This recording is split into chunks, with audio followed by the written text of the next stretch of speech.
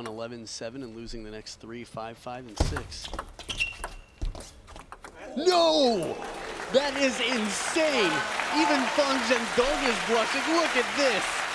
What a recovery. That's the biggest smile I've ever seen from Fan Zhendong and well-deserved. Look at this under the net clamp roller on the table.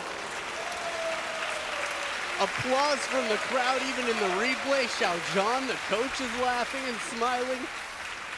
Oh my. It's usually going wide out to the forehand though. Let's see which one this is. Here it is.